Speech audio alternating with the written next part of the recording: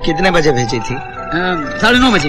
और अभी क्या टाइम हो रहा है? तकरीबन चार बजे होंगे।